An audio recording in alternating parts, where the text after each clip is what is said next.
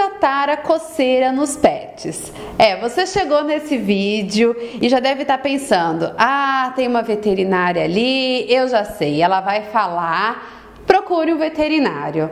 Não, não, não, não, não, não é o caso. Eu vim falar com a Denise Tavares, que ela não é só veterinária, ela é professora e vai trazer algumas dicas pra gente, pra gente cuidar em casa e tratar a coceira do pet. É isso, Denise? Isso. Na verdade, existem várias causas de coceira. Então nós vamos dar dica para uma causa. A gente conversou que uma das principais causas de coceira nos animais são os ectoparasitas, pulgas e carrapatos.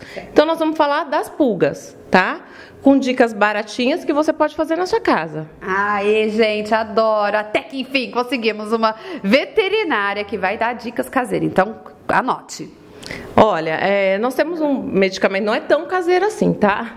nós temos uma medicação chamada Capstar, elimina todas as pulgas em até duas horas. Então você dá um comprimidinho. É claro que para isso você precisa consultar o seu veterinário ou uma pessoa especializada que vai te falar a dosagem que você vai usar para o seu pet. Porque a gente sabe que tudo que é bom também faz mal. Então por isso a gente sempre indica que procure um colega que vai te indicar direitinho qual a dosagem dessa medicação que você pode usar no seu animalzinho. E aí, eliminando em duas horas todos esses ectoparasitas, aquela é, doença ou aquela coceira causada pela picada da pulga, que chama dermatite alérgica por picada de pulga, você vai estar tratando, eliminando esse problema. E aí, além disso, o que a gente pode fazer? É, usar outros fármacos, né, bem baratos, como o Tanidil, aquele pozinho que a gente joga, inclusive em pintinho, você compra em casa agropecuária bem barato. É, você pode estar usando um talquinho mesmo antipulgas. Uh, a gente tem vários no mercado, o Ibapet funciona muito bem, mas o Tanidil é uma dica muito legal, bem barata e funciona bem. E a gente não pode esquecer de tratar o ambiente. E aí, um butoxinho com pano molhado e todos esses que a gente conhece por aí. Certo, Denise. Tá, já matei o bichinho, mas o meu cão ainda tá se coçando. O que, que eu faço?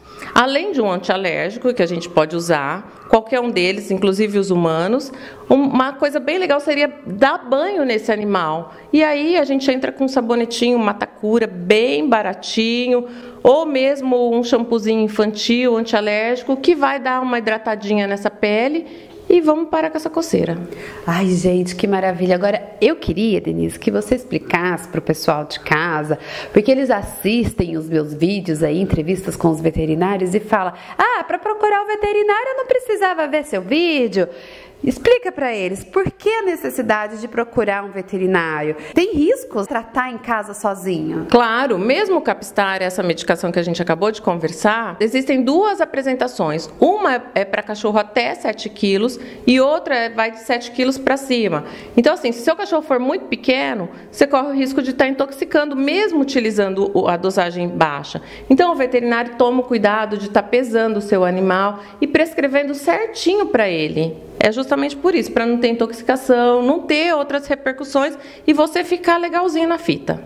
Ah, gostei! Você gostou? Então lembra de dar joinha, de se inscrever no canal, porque tem muito mais dicas com os profissionais. Inclusive, ó, tem a Denise há 10 anos atrás, gente. Procura aí na playlist para quem ama os animais, veterinária Denise Tavares. Denise, muito obrigada. Obrigada a você, Isa, e espero ter ajudado todos vocês. Dá uma curtida aí, um likezinho para esse vídeo bombar e a gente tá gravando mais. É, isso aí. Manda também as sugestões do que vocês querem que a nossa veterinária conte aí como que a gente pode ajudar os nossos bichinhos. E, mais uma vez, muito cuidado com receitas caseiras, ficar olhando vídeo aí na internet de pessoas dando dicas e sugestões e você acabar trazendo malefícios para o seu bichinho, ou seja, causando mal para ele. Tá bom? Beijo, gente! Beijo, até mais. Tchau, tchau.